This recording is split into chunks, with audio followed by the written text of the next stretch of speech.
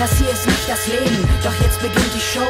Für Hackbett, Schorsch, Melodie, Mandy und Piano Joe. Es sind nicht ihre Lieder, doch sie singen sie für uns.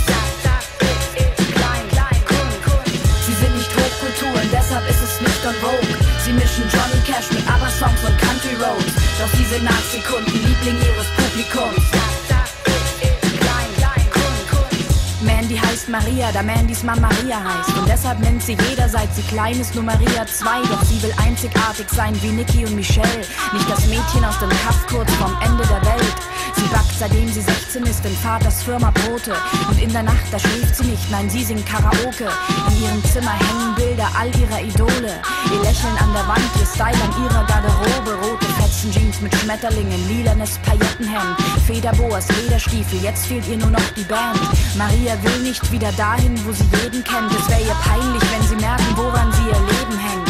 So nimmt sie sich zusammen, denn sie hält's nicht weiter aus und gibt am nächsten Tag eine Annonce in der Zeitung auf. Als sie glaubt, das wär's dann auch, klingelt ihr Handy und zum ersten Mal spricht sie es aus.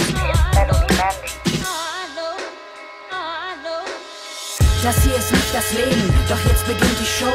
Für Hackbett, Schorsch, Melodie, Ihre Lieder, doch sie singen sie für uns.